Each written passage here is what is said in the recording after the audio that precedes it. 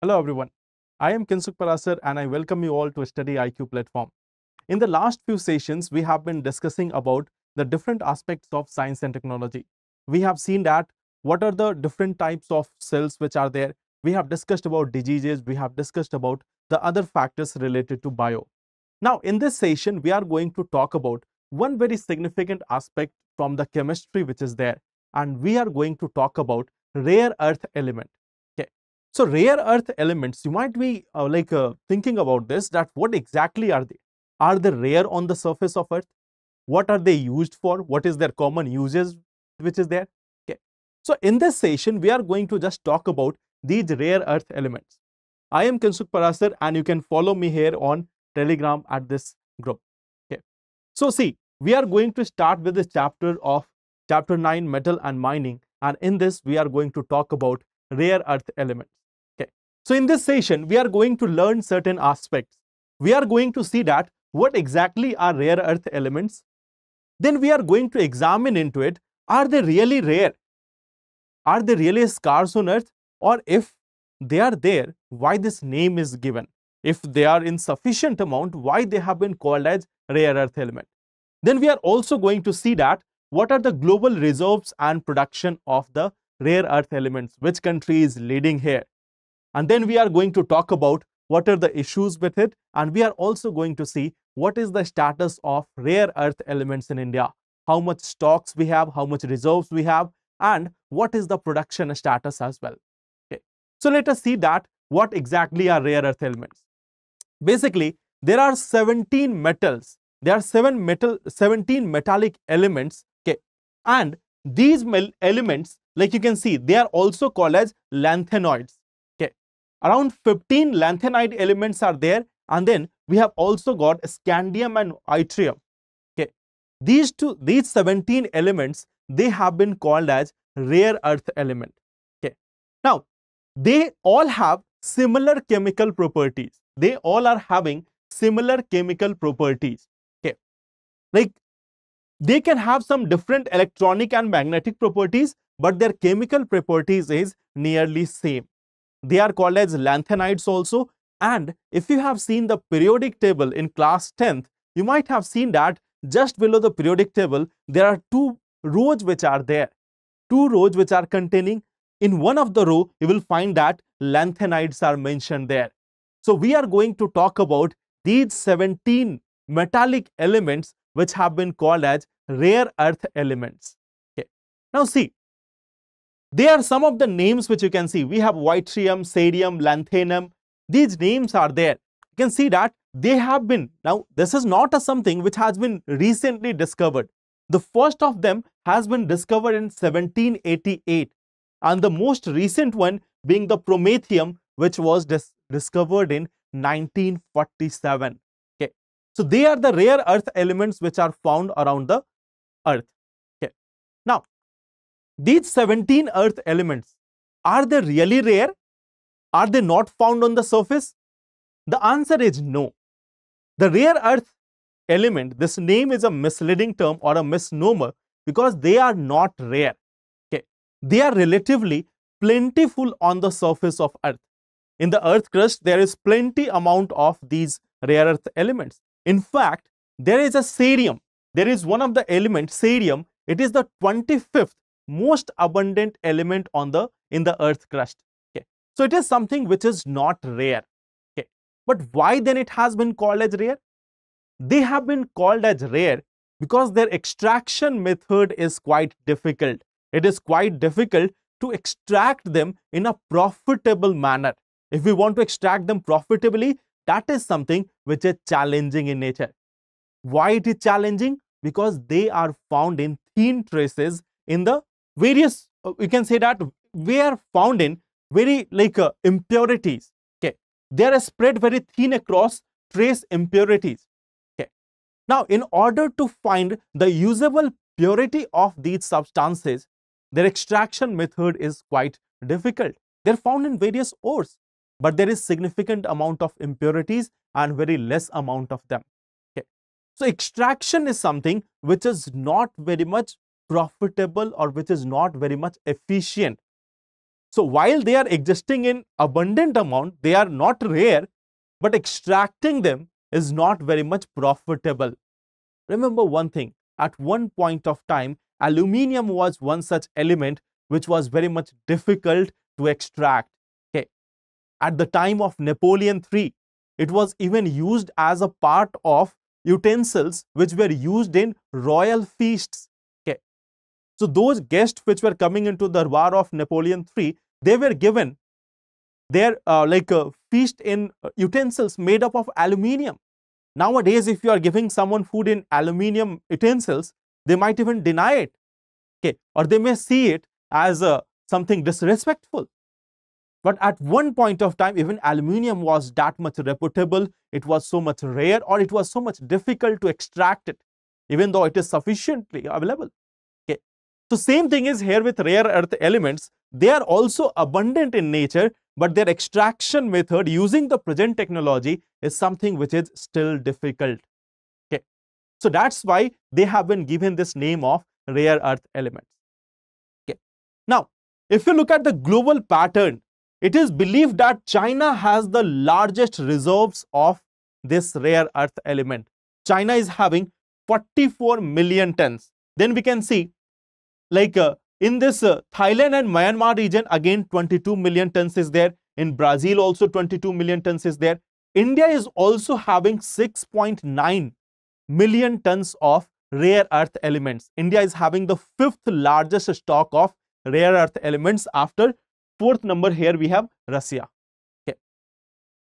So after these countries, India is at the fifth number having the largest potential or largest reserves of rare earth elements. But if we talk about production, you can see production here China is again leading followed by Australia, United States, Myanmar, Russia and then India. Okay. So in terms of production, we are not the fifth largest, but in terms of the potential reserves, we are one of the fifth largest reserves, one we are having one of the fifth largest reserves of rare earth element. Okay. So see, now what are the issues with them? What are the challenges or what are the aspects of this rare earth element? Okay. The first thing is supply chain problem. Okay. Basically, they have a very highly concentrated global supply scenario. You can see that till now, the majority of the till now the majority of the production is concentrated in hand of China. You can see the difference. They are producing about 1,20,000 tons of the rare earth elements. You can see all other countries combined together, they are not even reaching half of what China is producing. So China is having a global dominance in terms of production and supply of rare earth elements. And see, so there is this thing like uh, till a couple of years ago, China was controlling around 90% of the stockpile of rare earth. Okay.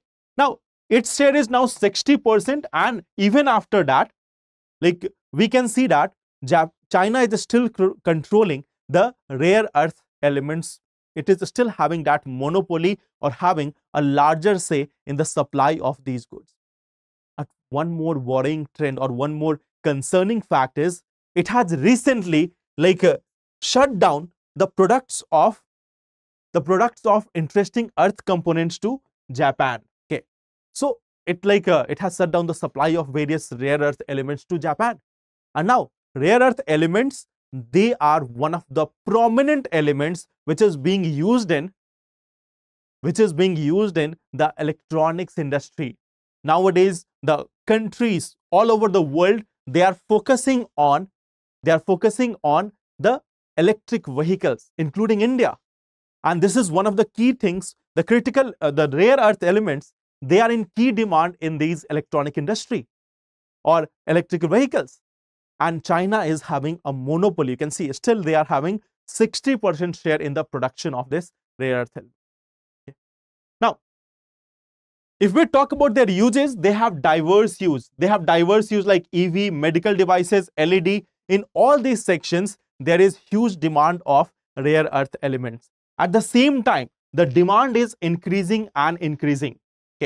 Like for the assembling of electric vehicles and wind turbines, it is still in a very much huge demand.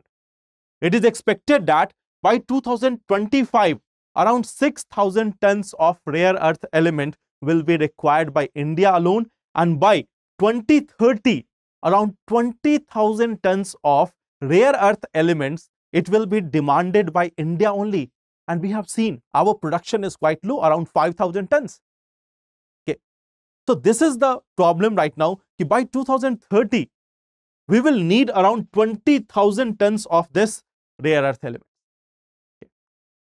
now see there how it is a problematic thing for us when we are importing it first of all we can see that we are dependent largely on china for the import of rare earth elements the second important thing, it is a major dent on our forex reserves. We will have to spend our forex reserve. So it is a major, like when we are importing it, is it, it is import, it is increasing our trade deficit with China. First thing, it is also reducing our forex reserves, okay, the foreign currency. And at the same time, the global cost of the rare earth elements, you can see simple economics is there. When there is more demand, okay, the prices are going to be high. So here what we can see that the global cost of one such element, neodymium, it has increased from around 100 per kilogram dollar, $100 per kilogram to around 200 per kilogram. Okay. So in just four years, four to five years, we can see that its prices have just become doubled. Okay. In just four to five years, its price has just become double of it. Okay. So 100% inflation can be seen there. Okay. So this is one of the challenge with the rare earth elements. What about India? How much rare earth elements we are having there? India is having the fifth largest reserves of the rare earth element. Okay. But if we talk about the rare earth elements in India, it is the resource is significantly lean with respect to grade. Okay. And it is also tied with radioactivity. So the extraction process will become long complex and much more expensive. And that is one of the challenges. First, the grade is not that much good. Second thing, it is also associated with the radioactive components and that's why its extraction is going to be long also, complex also and expensive as well. Okay. Now, their Indian resources, they are also having light rare earth elements, okay, whereas the heavy rare earth elements are not available in extractable quantity. The quantity which can be extracted profitably, that is not available in case of heavy rare earth elements. Now, in order to exploit, okay, like uh, we can see that we have got significant amount of reserve of the rare earth element. Like we can see that we have significant amount in comparison to US and Australia. We are just behind China, Vietnam, Russia and Brazil.